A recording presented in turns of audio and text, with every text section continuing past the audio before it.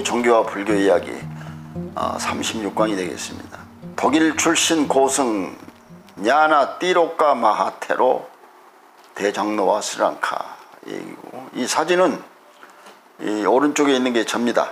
어, 제가 그 40한 5년 전 태국에서 이제 비구 생활을 하면서 어, 스리랑카에 가가지고 성지순례하고 인도를 거쳐서 영국으로 가기 전에 그 모습입니다. 어, 그래서 이제 여기 나는 남방불교 국가인 태국에 가서 비구회를 받고 직접 수행을 수행 체험을 해본 적이 있습니다. 태국에서의 연수 과정을 마치고 스리랑카에 가서 인도의 원형 불교를 잘 지켜가고 있는 스리랑카 불교를 연구하기도 했습니다. 그때 독일 출신으로 스리랑카에 와서 온갖 어려움을 극복하면서 본인 스스로 비구로서의 수행을 하면서 빨리어 경전을 독일어 영어로 번역하여 서구 사회의 불교 경전과 교리, 불교 철학을 전파한 나나 띠로카 란 고승의 정보를 듣게 되었습니다. 내가 이제 스리랑카 갔을 때 그분 이제 그분에 대한 책이죠. 전기죠. 나 역시도 불안정한 이국 생활을 하면서 그때 이제 비구 생활을 하면서 뭐 이제 그때는 젊을 때니까 30대 초반이니까 이제 어디로 가서 공부를 해야 되냐 하고 이제 고민하면서 뭐 이럴 때니까 오직 구도의 일념과 호기심으로 이른바 아일랜드 허미티지 아일랜드라는 섬이란 거고 허미티지라는 거는 조그만 남자를 얘기하는 거거든요. 가서 일주일 정도 머물면서 이분에 대해서 연구한 적이 있습니다. 내가 이 섬 암자를 찾았을 무렵인 80년대 초에는 나냐 띠로카 대장로는 1957년에 입적한 후였고 그 제자인 나냐 뽀니까 장로 비구도 이제 그때 캔디의 숲속 암자로 옮겨간 후였습니다. 나냐 띠로카의 손상자가 섬 암자를 지키고 있었습니다. 스리랑카 자체도 섬나라가이지만 섬 암자는 조그만 무인도 같은 도단두와 섬에 자리하고 있었습니다. 이 섬 암자는 1911년 나나 띠로카 대장로가 세웠고 유럽 출신 서구인들이 승려가 되는 관문이었고 또한 서구 출신 비구들이 와서 명상과 빨리어 경전을 학습하는 센터이기, 도 했습니다. 조그마한 외딴 섬이지만 이곳의 도서관은 너무나 귀중하고 유, 유용한 상자부 도서들을 수만 권 간직하고 있는 지식의 어, 보고라고 할 수 있는 장사가 있는 곳입니다. 어, 70년대 우리가 그 송강사 구산 대선사 문화에서 외국인들이 그 수행을 했죠. 또 이후에 이제 숭산 대 선사 문화에서 또 저기 있죠. 어디입니까? 저 계룡산, 어, 신원사 옆에 또 무상사. 아, 이렇게 우리가 알지 못하는 그런 그 숨은 도인들은 이렇게 불교를 이제 그 전파하는 겁니다. 이렇게. 예, 그래서 나도 이제 그때 호기심이 가고 그래서 그 어려운 과정에서 스리랑카 자체도 섬인데 거기서 또 몇백 킬로 가가지고 그 섬에 또 내가 가봤어. 그 당시에 나는 굉장히 지금도 마찬가지지만 그 탐구 정신이 탐구 정신 뭔가 그 어떤 관심이 있으면 끝까지 가서 그걸 가야 결코 그것을 보고야만은 그런 게 좀 있어요 제가. 어. 그래 100년의 역사가 쌓이면서 이곳 남자도 유명해졌습니다. 기독교의 선교사 역, 선교 역사를 보면 참으로 조직적이고 재정적인 후원에 의해서 아시아에 파견되어서 선교를 한 바 있습니다. 불교 역사상 고대 인도에서 기원전 3세기경 마우리아 왕조의 아소카 대왕과 기원 후 2세기경 쿠산 왕조의 카니슈카 대왕 정도가 불교 전도 프로젝트를 후원했으며 12세기 스리랑카가 미얀마와 태국의 불교를 전파했습니다. 하지만 근세에는 어느 나라고 해외 불교 전도를 제대로 한 나라가 없습니다. 음, 뭐 이거는 좀 제가 이제 잘못된 표현이긴 합니다만 어쨌든 보면은 일본에 그 있어요. 일본에서도 뭐 대단하죠. 지금 해외 불교 전파하고 이제 각 나라마다 이제 사신을 하고 있습니다. 그러나 어, 역사적으로 볼 때 이제 그렇다는 얘기고 그렇기 때문에 에, 국내에서 포교도 중요하지만 다른 나라의 또 다른 지역의 불교를 전하는 해외 포교도 사실 좀 중요하거든요. 음, 그래야 불교는 돌고 도는 거니까.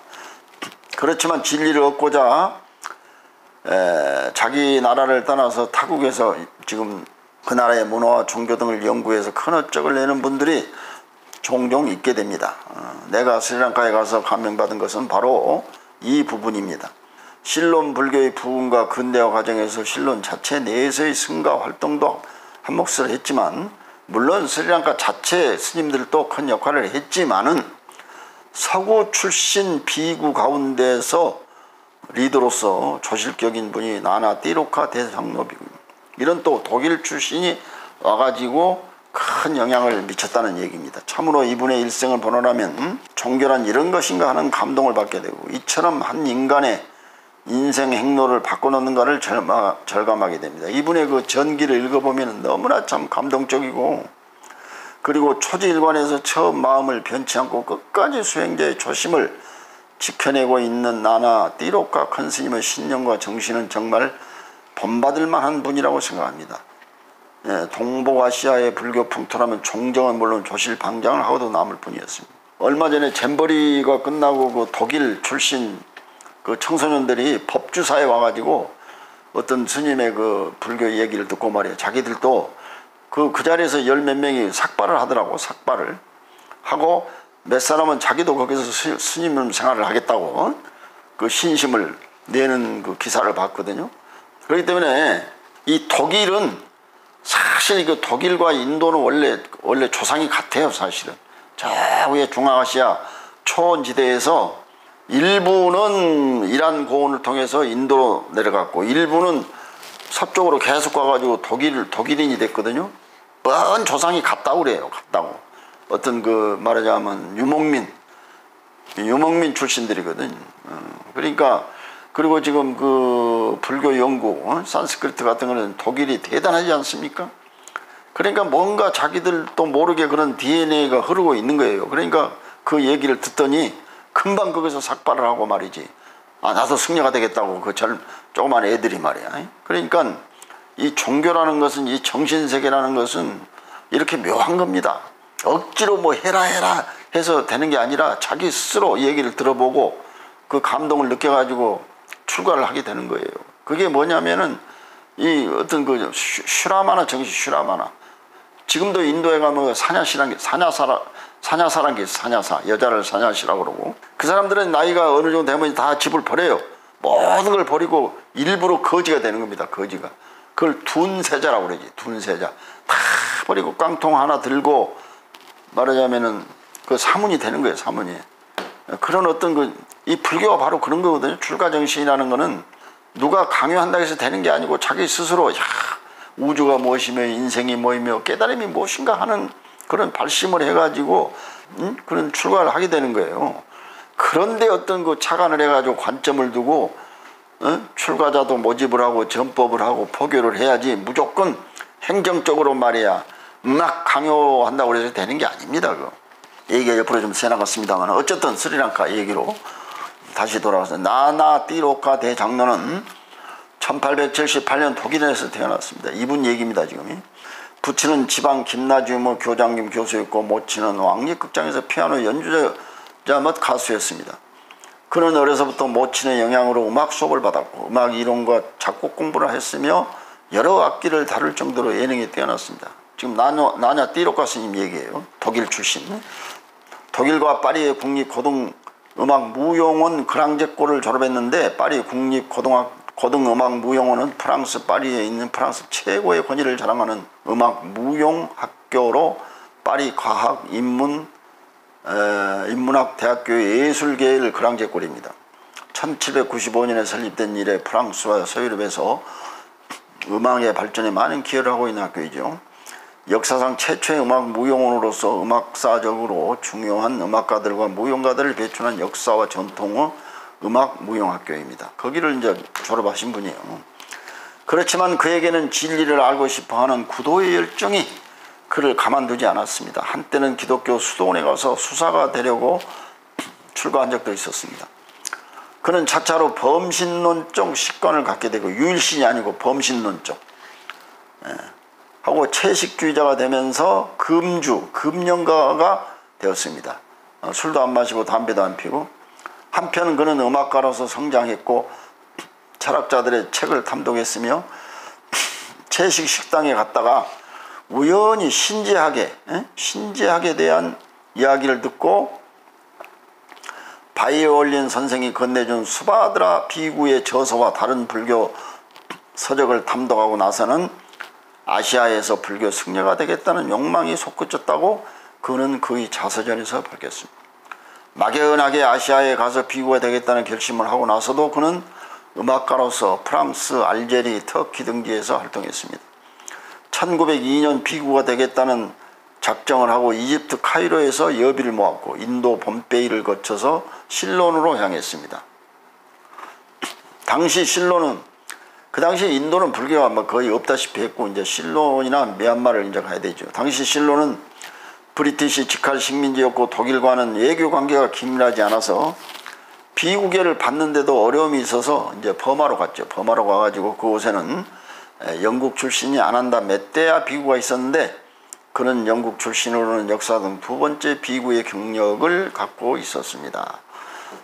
그는 비구가 되기 전에는 황금 여맹의 멤버였고 이 단체에 대한 이야기만 하려고 해도 소개가 길어집니다.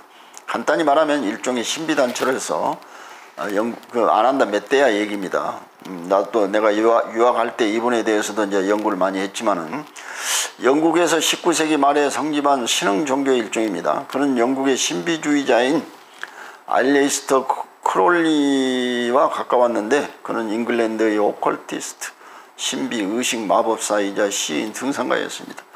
아난다 메테아 비구는 영국에 처음 불교 전도를 한 비구이기도 한, 했는데 이제 나나 띠로카는 아난다. 메테아 비구의 안내로 1903년 3위계를 받고 행자 수업을 끝내고 1904년 정식으로 구족계인 비구계를 수지하고 나냐 띠로카는 변명을 받았는데 개사는 우쿠마라 마하테라.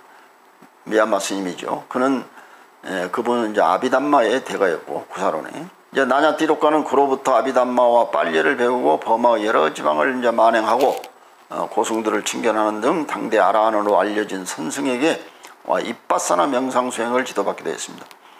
버마에서 비구가 되었지만 빨리와 빨리와 경전을 습득하고 연구하기 위해서 실론으로 가요. 왜냐하면은 중어 이제 미얀마에서 됐지만은 그 빨리어는 스리랑카가 더 앞서 있었거든 그 당시만 해도.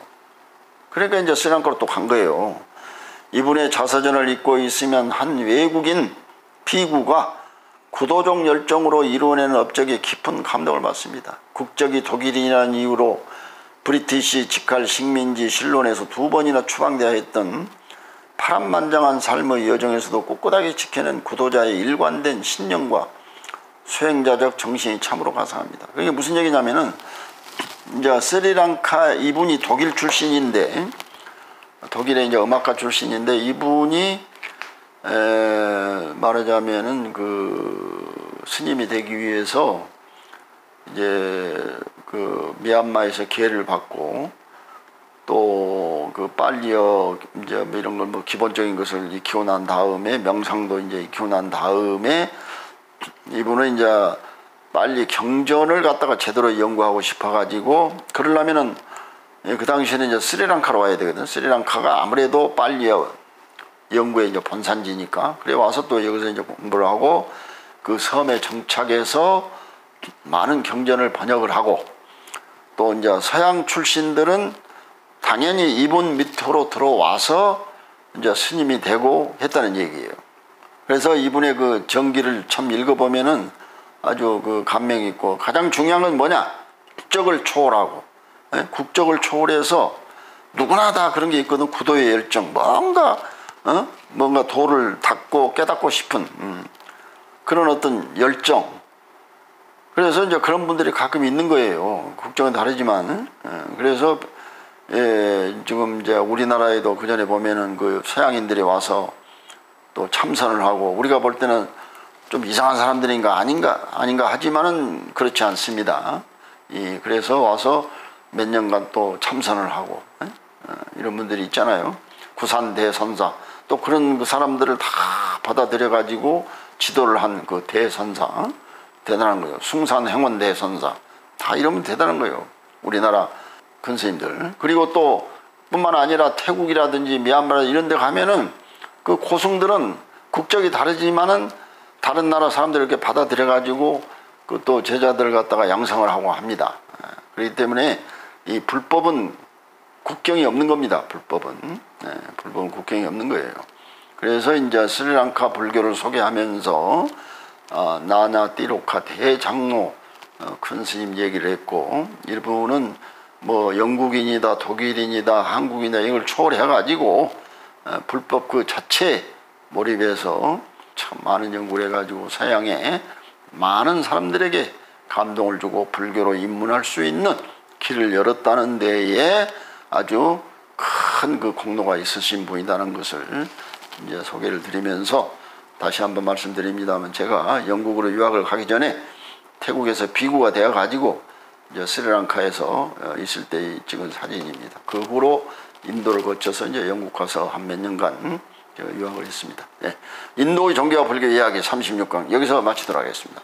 여러분 경청해 주셔서 대단히 감사합니다.